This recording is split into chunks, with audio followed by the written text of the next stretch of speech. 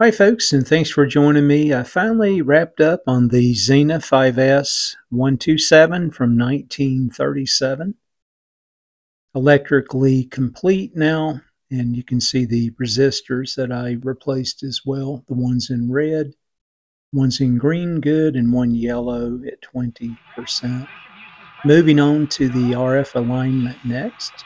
The only thing noteworthy on the RF alignment band C, the middle part of the band seems to be about uh, 400 kilohertz high. Other than that, the uh, dial is spot on.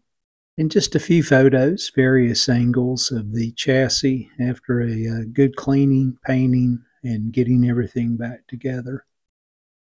Again, compared to my starting point. A little action here on the uh, C band, shortwave band, in the evening hours at my house. Thanks for watching and following the series. From midnight 1 to midnight 8 on 1278 kilohertz, and via Lithuania on 1386. Then at midnight 8 to midnight 23, English continued on 1386 only, while 1278 was in Ukrainian.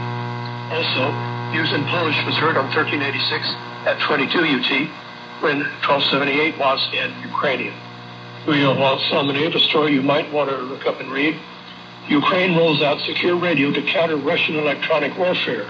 HIMERA radio utilizes advanced frequency hopping spread spectrum technology to counter Russia's electronic warfare tactics, creating a nearly undetectable communication system. Yeah, they did a great job as best they could under circumstances.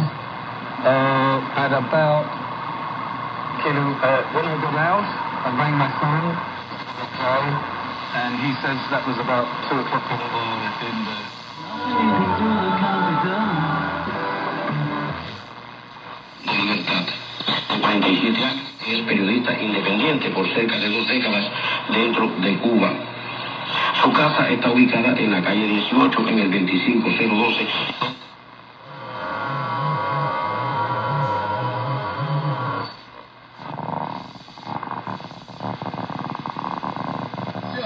Gol do Ávalos. Colômbia empata em 0 a 0 primeiro tempo de jogo no Equador. Daqui a pouco, além de Uruguai e Brasil, que está por nada. Accidentally sprained my wrist. Using just one crutch seems to hurt my good wrist. Incidentally, Thanks again for watching the series on the Zenith 5S 127 from 1937.